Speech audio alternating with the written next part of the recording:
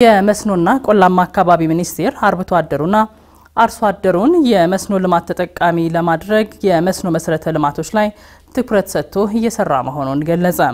የተጀመሩ የመስኖ መሰረተ ልማቶችን በተያዘላቸው የጊዜ ገደብና በጀት ለማጠናቀቅ መቸገሩንም አንስቷል። ሚኒስቴር መስሪያ ቤቱ ስድስተኛው የሕዝብ ተወካዮች ምክር ቤት ሶስተኛ ዓመት የስራ ዘመን 23ኛ መደበኛ ስብሰባ ላይ የሚኒስቴር መስሪያ ቤቱን አፈጻጸምም ገምግሟል። አየለ መስፍን ተጨማሪውን ይዘዋል።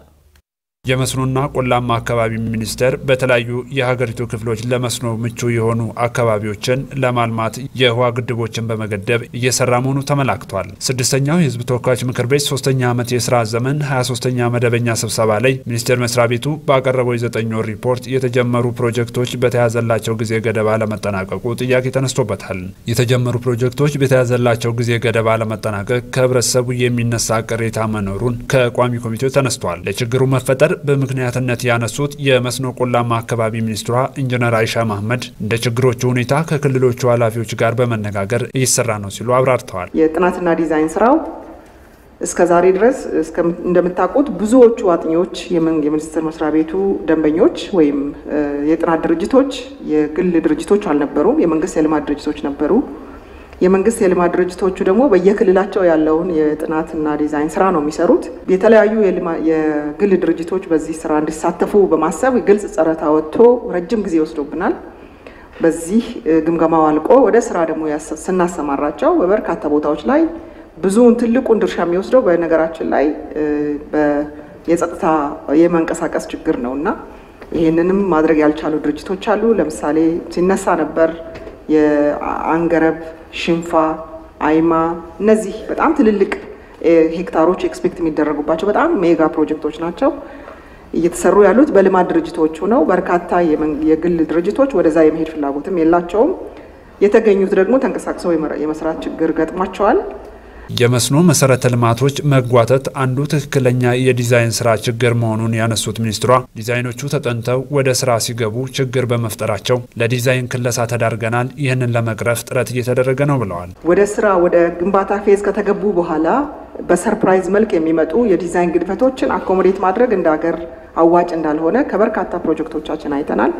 የፕሮጀክቶች መዘግየት ትልቁን ድርሻም ይኸው የዲዛይን ችግር እያመጣ ስላለ ይሄን ነገር በትክክል ቆም ብለን አይተን በቀስ ብለን በትክክል ያለቀለት ዲዛይን የያዘ ሰነድ ማዘጋጀት ያስፈልጋል በሚል ምክንያት በተደጋጋሚ ወዲያና ወዲህ የምናደርጋቸው የሚመላለስ አሁንም ችግር ያለባቸው በርካታ ፕሮጀክቶች አሉ እና ይሄ ስራው በትኩረት ለመስራት ጥረት እየተደረገ ነው ያለው። በሚኒስቴር መስሪያ ቤቱ ውስን የሰው ሀብት ነው ያለው፣ ውስን ሙያም ነው ያለው። ነገር ግን ሌሎች አካላትን ጋብዘን ዲዛይን review ም እያደረግን በአጠቃላይ የተዋጣለት ለግንባታ ዝግጁ የሆነ ዘር ለማዘጋጀት ነው ሙከራ እየተደረገ ያለው። የሕዝብ ተወካዮች ምክር ቤት አባላት ባደረጉት የመስክ ምልከታና ከማህበረሰቡ የተነሱ ጥያቄዎችን አንስተዋል። በገጽ 55 እና 56 በቀረበው ሪፖርት በዘጠኝ ወር እቅዱ መሰረት እያንዳንዳቸው 30 ፐርሰንት አፈጻጸም ማስመዝገብ እያለባቸው የተመዘገበው ግን ዜሮ ነው። የጀማ ወንዝ በደቡብ ሜጫ ወረዳ የሚገኝ ሲሆን ሜጫ በብዙ የተፈጥሮ ሀብት የታደለ ሲሆን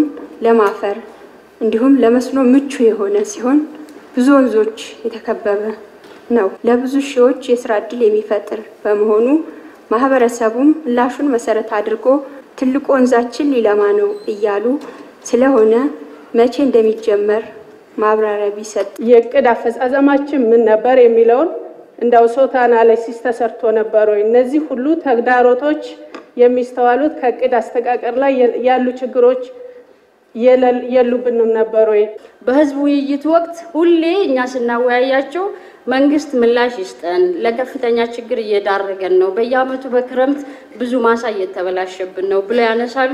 እናንተም ከክልሎች ጋር ተነጋግረን መልስ እንሰጥበታለን ትላላችሁ፣ ግን እስካሁን ምንም የተደረገ ነገር የለም። ከቋሚ ኮሚቴውና ከምክር ቤቱ አባላት ለተነሱ ጥያቄዎች ሚኒስትሯ ምላሽ ሰጥተውበታል። ከየአካባቢው በየክልሉ የምንሰራቸው ስራዎች ክልሎችም እንደዚሁ የትኛው ክልል ምን ያህል አቅም እንዳለው የገጸ ምድርም የከርሰ ምድርም የውሃ አለኝታው ምን እንደሆነ ጥናት እያጠና ስላለ ከዛ ተነስተን እንግዲህ የሀገርን አቅም ማዕከል ባደረገ መንገድ ስራውን የምንሰራ ይሆናል።